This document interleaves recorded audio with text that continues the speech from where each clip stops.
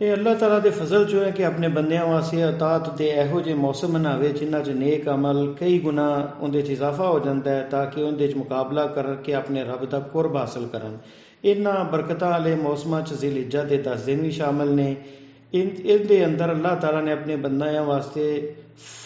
ਖਾਸ ਫਜ਼ਲ ਤੇ ਇੱਜ਼ਤ ਫਜ਼ਾਈ ਕੀਤੀ ਹੈ ਇਹਦੇ 'ਚ 8 ਜ਼ਿਲਹਿਜਾ ਦਾ ਤੇ ਅਰਫਾਤ ਦਾ ਦਿਨ ਔਰ ਕੁਰਬਾਨੀ ਦਾ ਦਿਨ ਵੀ ਹੈ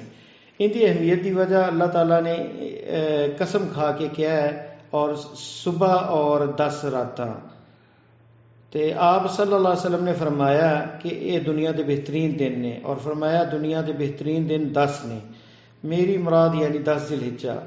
अबू उस्मान नाहदी नाहदी कहते ने कि यानी सलफ तीन अशरिया की अजमत के कायल सके रमज़ान के आखिरी अशरे जिलहिजा के पहले दस दिन तो मुहर्रम के पहले दस दिन। इन्होंने दिनों का ਦਾ ਇਹਨਾਂ ਦਿਨਾਂ ਦਾ ਇਸਤਕਬਾਲ ਕਿਵੇਂ ਕਰੀਏ ਹਜ਼ਰਤ ਇਬਨ ਅਬਾਸ ਰਜ਼ੀ ਅੱਲਾਹ ਤਾਲਾ ਨੂੰ ਮਤ ਰਵਾਇਤ ਹੈ ਕਿ ਰਸੂਲullah ਸੱਲਮ ਨੇ ਦੱਸਿਆ ਅੱਲਾਹ ਤਾਲਾ ਨੂੰ ਇਹਨਾਂ ਦਿਨਾਂ ਤੋਂ ਜ਼ਿਆਦਾ ਨੇਕੀ ਦਾ ਕੋਈ ਦਿਨ ਮਹਿਬੂਬ ਨਹੀਂ ਮੇਰਾ ਮਤਲਬ ਹੈ ਕਿ 10 ਦਿਨ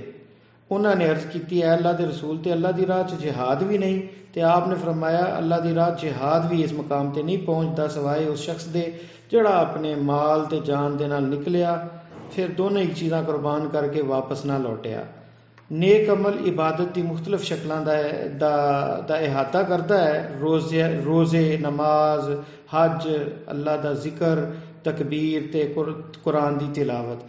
ते नेकी के रस्ते खर्च करना वगैरह इन्ह दिनों के अंदर जिस चीज़ की ताकीद होंगी है वो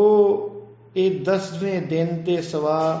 रोज़ा है और रसूल वसलम की बीविया चो बाज ने दसिया कि रसूल वसलम ने फरमाया रसूल वसलम नौ जिलेजा के रोज़े रखते थे खास तौर पर अरफात के दिन का जिंदे रोज़े का स्वाब दो साल के गुनाह की माफ़ी है।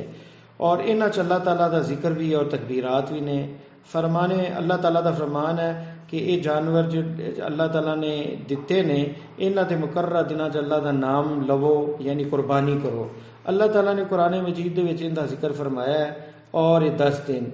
ਇਹਨਾਂ 'ਚ ਇੱਕ ਹੱਜ ਹੈ